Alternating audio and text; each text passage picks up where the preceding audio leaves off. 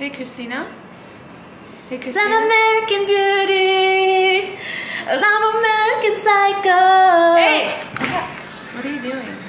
Singing. It's Christina! It's June. And today we're going to talk about Fall Out Boy's new album that's going to be released on June 21st, 2015, called American Beauty, American Psycho. They've already released three songs uh, Centuries, American Beauty, American Psycho, and Kids Are Alright. Yes. Have you heard the other songs? I have. Oh, okay. Have you? I have. Ooh! Yeah. Let's talk a little bit about Fall Out Boy in America. I remember listening to them when I was like in high school. Fall Out Boy for me was the transitioning time between middle school and high school. They've come a long way from being one of those small Chicago punk bands to being known worldwide. Mm-hmm. I'm gonna let you watch and listen to American Beauty and American Psycho, and I want you to tell me what you think. All right? Okay. So just got your top.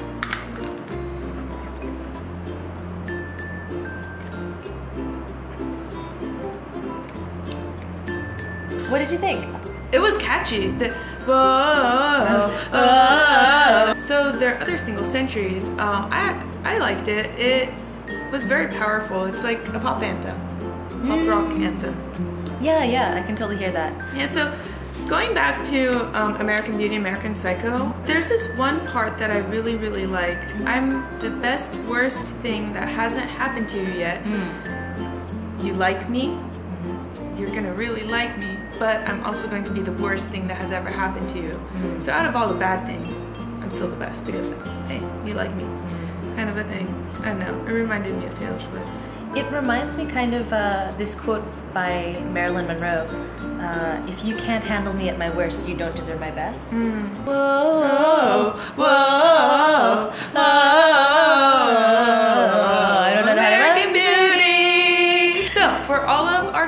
viewers who are Fall Out Boy fans, listen closely because we have some presents to give away. We have a signed shikishi and some other special secret presents to give out to five lucky people.